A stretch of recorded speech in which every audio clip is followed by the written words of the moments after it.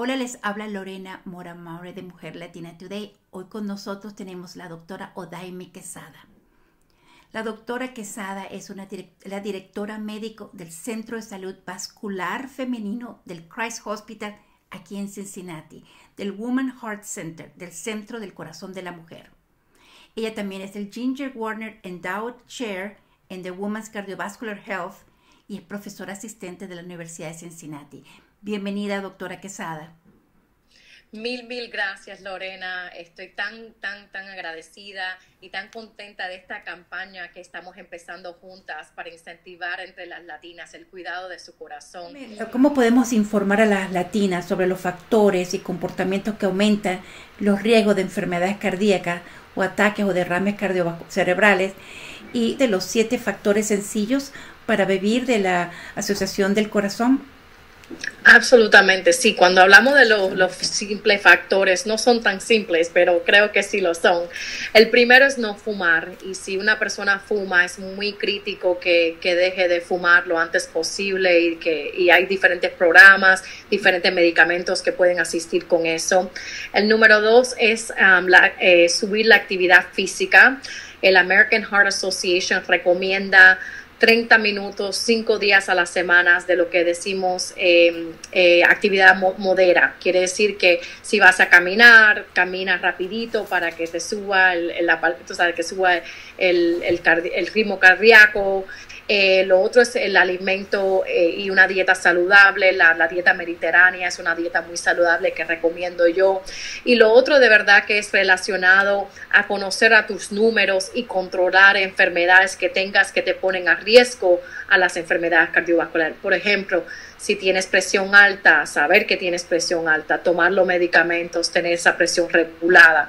Eh, si tienes diabetes, controlar el azúcar. Si tienes el colesterol alto, eh, eh, tomar las medidas como el ejercicio y la dieta y a veces medicamentos para bajar ese colesterol. So, esos son um, los factores más importantes que yo diría para, para bajar ese por ciento de enfermedad cardiovascular. ¿Cuáles son los objetivos que usted eh, quiere o que le gustaría que las mujeres escucharan a través de este video?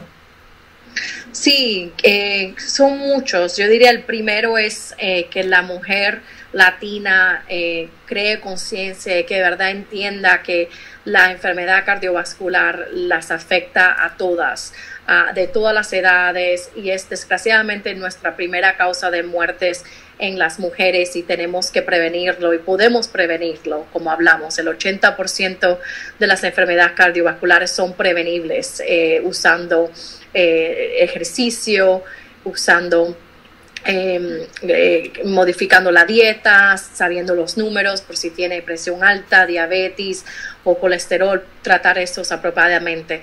Doctora, ¿podemos decir si usted es una mujer que tiene antecedentes, o sea, su familia ha sufrido infarto, eh, tiene presión alta, tiene diabetes, tiene los números, a mí me encanta conocer mis números del colesterol, es recomendable que vaya a verse de un cardiólogo eh, como usted, que especializa en, la, en, el, en el corazón de la mujer, para que ella descubra, ¿verdad? Para que pueda prevenir enfermedades, sabiendo estos antecedentes. Sí, sí, yo creo que es muy importante ir a un, a un doctor y por eso tenemos cardiólogos que son prevenistas o tenemos cardiólogos que son preventivos, se llama Preventive Cardiologists y nosotros en nuestro programa del Centro de Mujeres de Christ Hospital tenemos parte de nuestro, de nuestro centro es que tenemos programas que son específicos para las mujeres y uno de nuestros programas es de eh, eh, eh, prevención cardiovascular.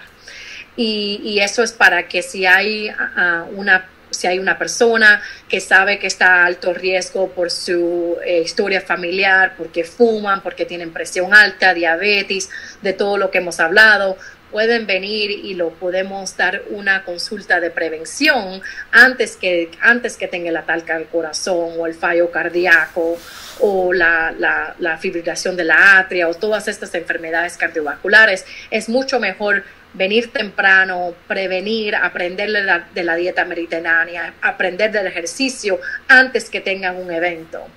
Muchísimas gracias. Gracias a ti, Lorena.